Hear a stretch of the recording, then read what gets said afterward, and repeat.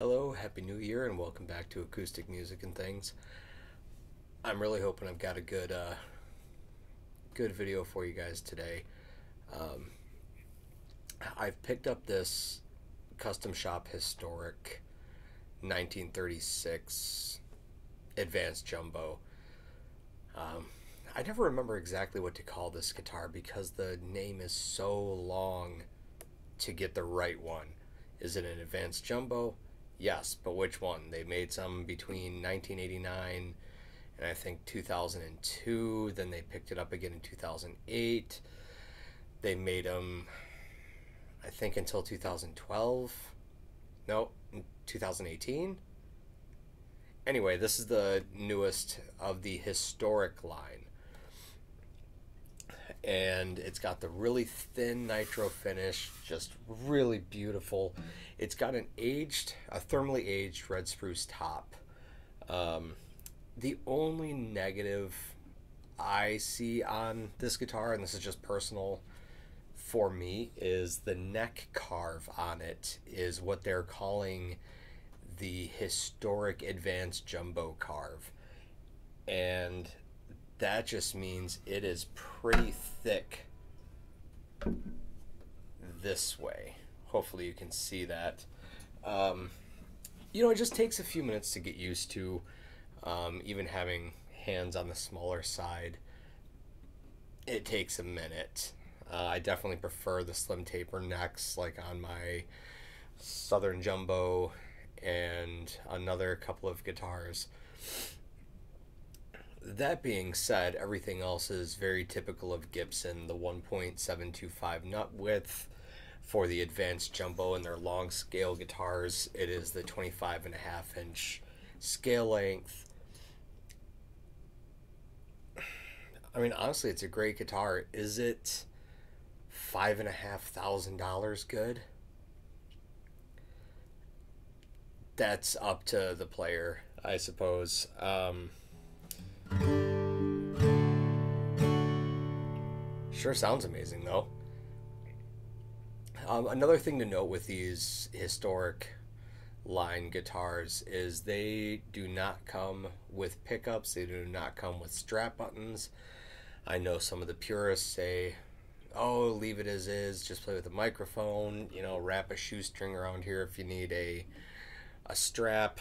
But, you know, not only do I sit here and play and, you know, make some of these videos for you guys, but I also like to plug in and play out. So for me, pickups are very helpful because despite what some people may think, you cannot put a pencil mic on an acoustic guitar on a stage with a drum set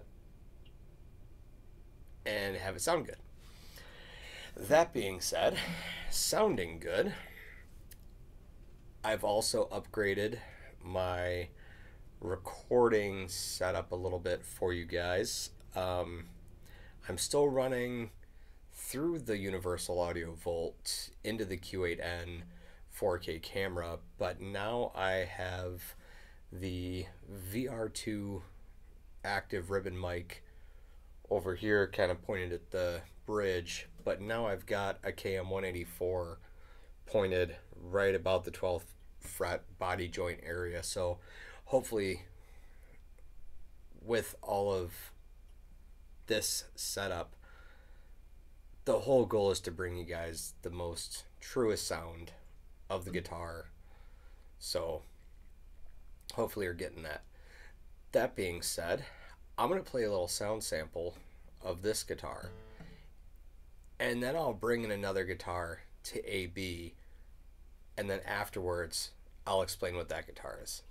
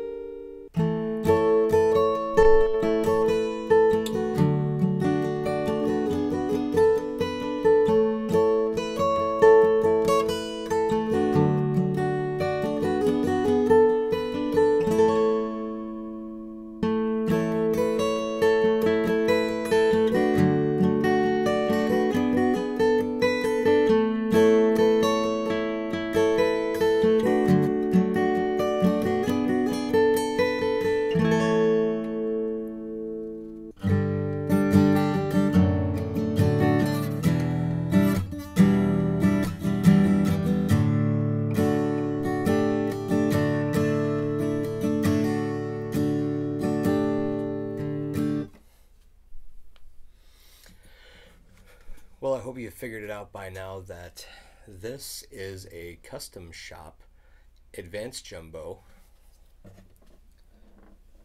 with a flame maple back and sides. This was part of the 2015 65 guitar run with an Adirondack top, flame maple back and sides, and everything else standard Gibson and standard advanced jumbo. So I thought this would be a really great comparison between the two. You know, thermally cured Adirondack top versus a fairly played in new Adirondack top. So going back listening through I'm really surprised at how warm the maple really is. Going back to, and I've said it, I think in my Guild video, or maybe my J185 video, that how everybody thinks that maple is such a bright wood, it's a tone wood. It's just really a non colorful wood, meaning the wood itself doesn't really color the tone of the guitar as much as just give it a lot of transparency. It's really about the top, it's really about the strings, and really it focuses on the player. Like, how does the player play? So, in that aspect, Maple can be a little scary because it really showcases your particular playing style. Well, I hope you guys enjoyed that little comparison. Um, I've got another couple of videos lined up. Um, one I'm really excited about is showing you guys this this guy right here. Let me know what you think um, in the comment section below. Can you identify that? You know what that is? Let me know. Look forward to it. Thanks again.